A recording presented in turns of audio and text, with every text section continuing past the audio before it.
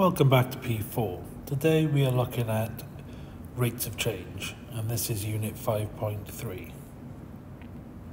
Now you can use the chain rule to connect rates of change where you've got multiple variables and an equation that involves a rate of change is called a differential equation. So if in a question I had say a dA by dt equals something and then I also had a dr by dt then you can look here and you can see that I have a dt and a dt but then I have a dA and a dr which is different. So then I need something in terms of dA and dr and now you can see that I've got three different variables and three different sets. So you've got DRs, DTs, and a pair of DAs. And then these can all be linked together. So for example, the DA by DT would be the same as a DA by DR multiplied by a DR by DT, which would obviously be this one flipped around, yeah. Okay, and you can see these would cancel, leaving me dA by dt. So that's just an example, very quick example of what we're talking about, but I think it makes way more sense if we do it with an actual question. So let's do that now. Okay, let's have a look at this example. The radius of a circle is increasing at a constant rate of 5 centimeters per second. Okay, so this one means it's going to be dr by dt. And that's 5. Okay, we're talking about the radius, which was the centimeters, and it's per second.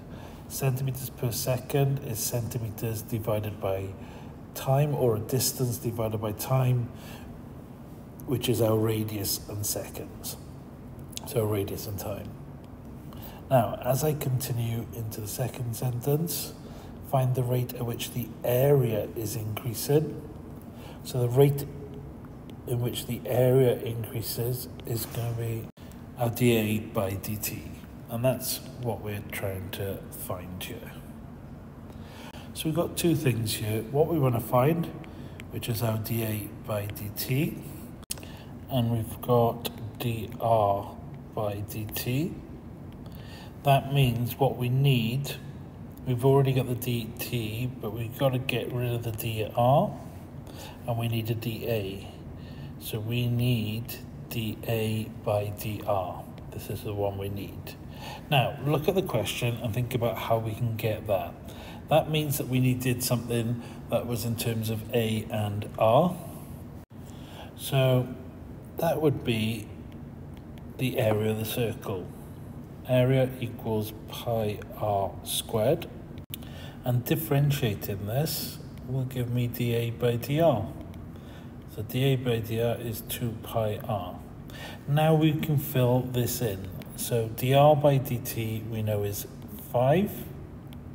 dA by dr is 2 pi r. Therefore, our answer for dA by dt is 10 pi r. And by answer, I should really say that's the expression because there is one more step that we need to do. We need to find the value when the radius is 3. So we want to go when r equals 3, dA by dt is 10 pi times 3, which is 30 pi. Okay, second example, it's quite a long one but let's get into it. So you can clearly see we've got a triangular prism. The triangle themselves, that is an equilateral triangle, that cross section. So that'll make our lives a bit easier with this. Um, next, so that's there. We've also got 120 centimeters for our length. H is the height of the water, which we don't know. Water is poured into the container at a rate of 24 centimeters per second. So the water's being poured in, 24 centimetres cubed is got to be a volume, and seconds obviously a time.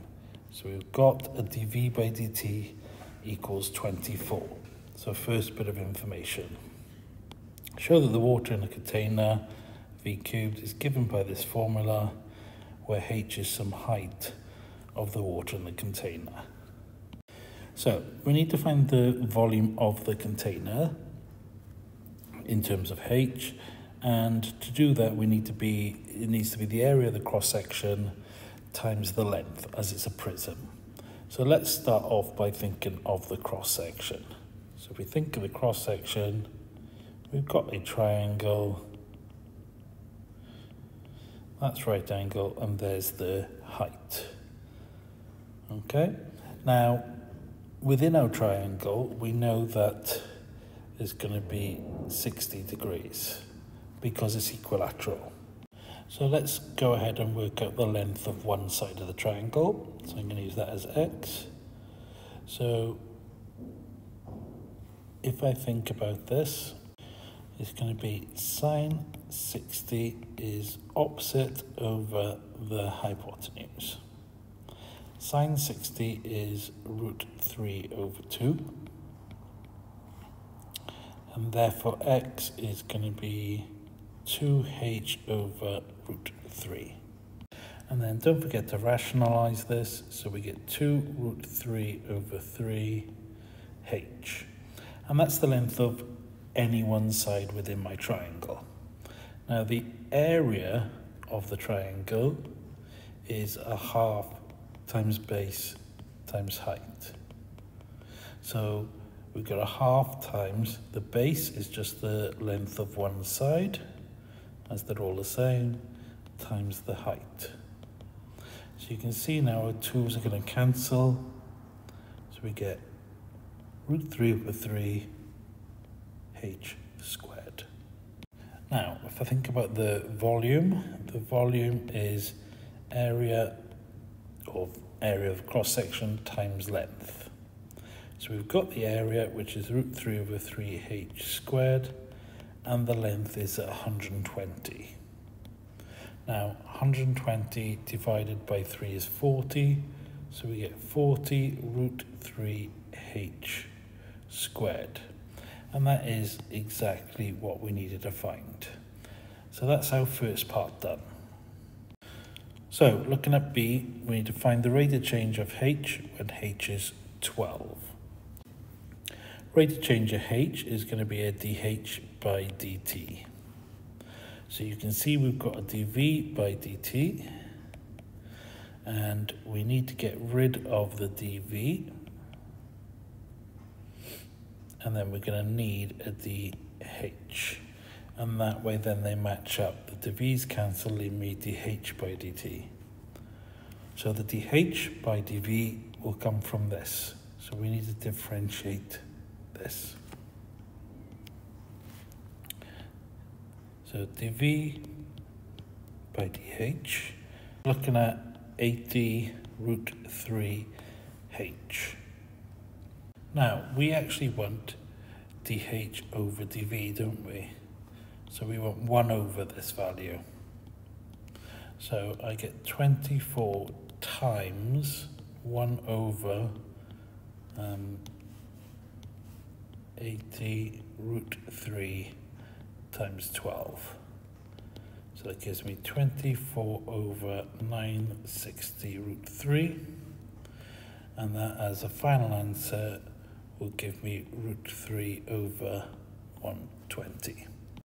And since h is a height, it should be obvious that this will then be centimetres per second or centimetres per second written like that.